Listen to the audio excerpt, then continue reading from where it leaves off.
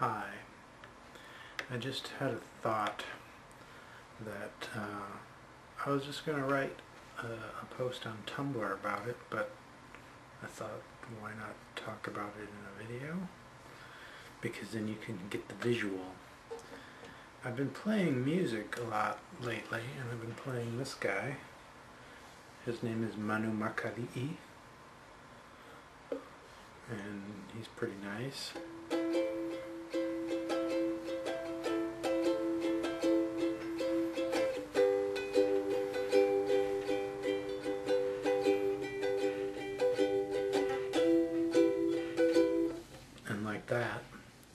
And then tonight, um, there's a new song I've been learning with these particular, with those chords. It's, it's a simple three chord song. Um, but the, you know, it's a new song, so you play it over and over and try to memorize the words and the cha chord changes and all that. And I thought, you know, those are really simple chords. It's A minor, G, and E minor. And I can play those on the guitar too, because there's certain chords I can play on the on the ukulele, like. Whoa. There we go. I can play that, yeah. If I get my fingers in the right places, I can play it.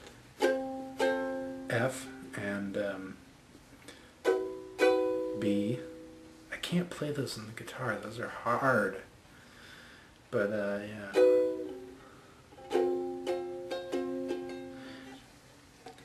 But the, the F and the B I can play on here, and I can't do them on the guitar. So, and there's a lot of songs that have Fs and Bs in them. So I've been playing the ukulele a lot. Um, and I haven't really touched the guitar in a while and I had it here and, and I was thinking, you know, I can play the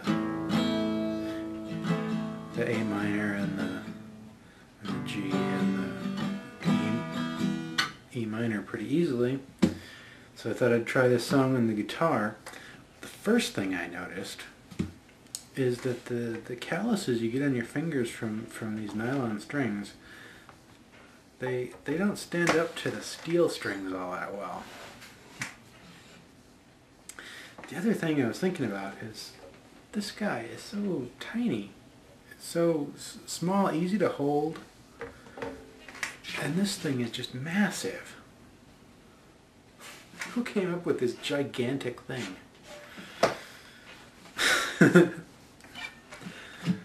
So there's that. Um, what was the other thing I was thinking about? I think that was the main thing. It was just how big this thing is. Big and heavy. This thing is so light. It, you can hold it up with, well, if I could find a balance point, I could hold it up with one finger.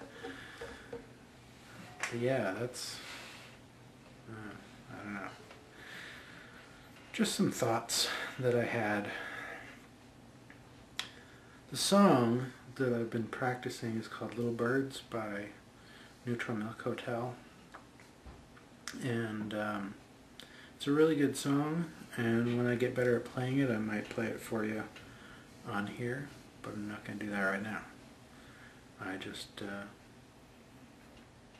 was thinking about stuff. I wanted to make video, so there you go. Okay, bye.